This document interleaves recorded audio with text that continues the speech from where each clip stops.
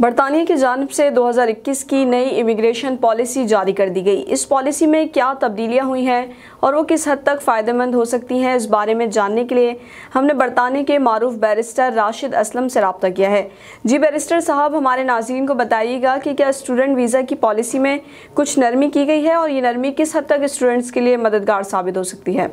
जी जी, बिल्कुल। आज जो इमिग्रेशन के हवाले से जो चेंजेस आज मंसरे पे आई हैं या जो जारी की गई हैं होम ऑफ़िस की तरफ़ से जिसका नाम H C one two four eight है।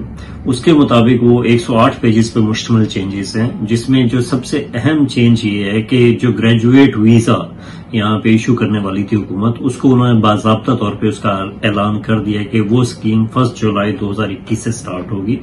यानी कि वो लोग जो यहाँ पे स्टडी कर रहे हैं, जो ग्रेजुएट पोस्ट ग्रेजुएट कोर्सेज में हैं, वो अपनी कोर्स की कंप्लीशन के बाद अब यहाँ पे दो साल का ग्रेजुएट वीज़ा ले सकते हैं। उस ग्रेजुएट वीज़ा में वो कहीं भी काम कर सकते हैं, वो कहीं भी एम्प्लॉयमेंट कर सकते हैं। अब उसमें बेसिकली दो से तीन चीज़ें जो बड़ी अहम है। एक तो ये है कि उनको नेशनल सेवेंटी पॉइंट्स पूरा करने पड़ेंगे जो कि अगर आप ग्रेजुएट ग्रेजुएशन कंप्लीट करते हैं तो आपके पॉइंट्स हो जाते हैं साथ में मेंटेनेंस के पॉइंट्स हैं।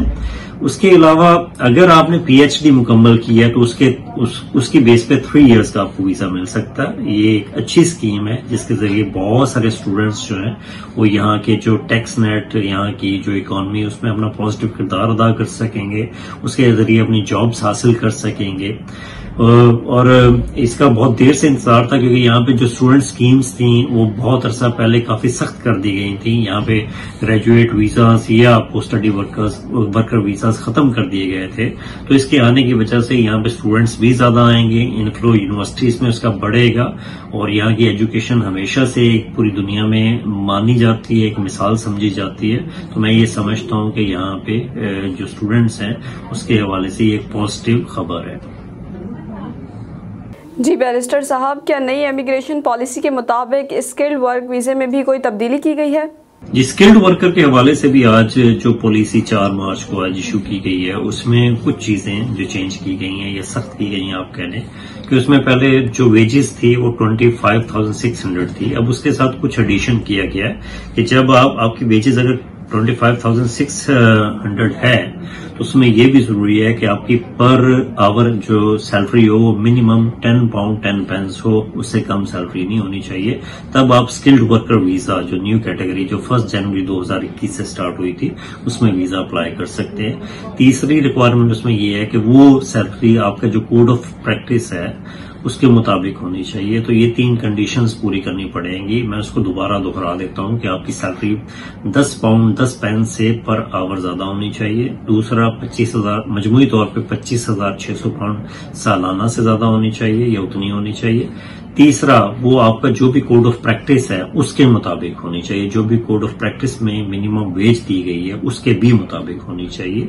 तो ये तीन कंडीशंस आपको अब जो फ़र्स्ट जनवरी से new skill based system start हुआ है, उसमें वो कंडीशन अगर आप पूरी करते हैं तो फिर आपको यहाँ पे उस कैटेगरी में वीज़ा मिल सकता जी बैरिस्टर असलम साहब, ये भी बताइएगा कि शॉर्टेज ऑक्यूपेशन लिस्ट में कोई नई कैटेगरीज भी मुतारिफ करवाई गई हैं?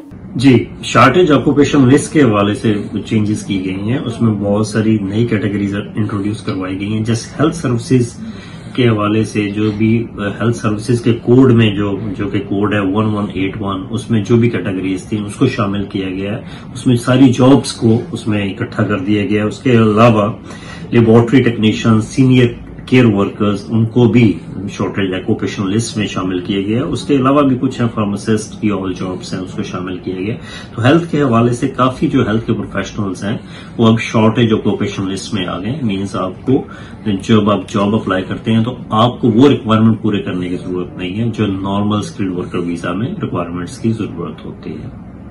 बहुत शुक्रिया बैरिस्टर राशिद असलम साहब हमारे नाजरीन को नई तब्दीलियों से आगाह करने का।